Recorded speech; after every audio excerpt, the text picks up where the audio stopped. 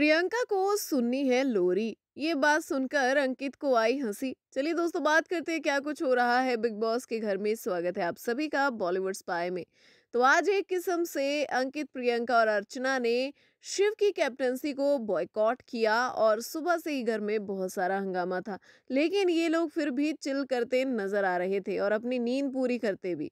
Pool side में बैठकर अंकित, प्रियंका, अर्चना और सुम्बुल बातें कर रहे हैं, जहाँ पर प्रियंका कहती है कि, तुम लोग ऐसे धीरे धीरे बातें करते रहो, मुझे ऐसा लग रहा है कि लोरी बज रही है और मेरा लोरी सुनने का मन कर रहा है। तो यहाँ अंकित को हँसी आ जाती है और सुम्बुल जो है वो लोरी सुनाना शुरू भी कर देती है। इसके बाद अर्चना कहती है कि, आओ चलो चिड़िया उड़ कौआ उड़ खेलते हैं।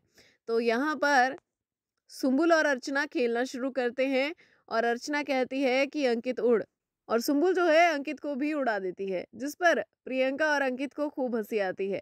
तो दोस्तों, इस तरीके से ये अपना मस्ती मज़ाक भी कर रहे हैं और घर वालों की नाक में दम भी कर रखा है। इस जोड़ी के बारे में आपको क्या कुछ है कहना, कमेंट्स में ज़रूर बताइए।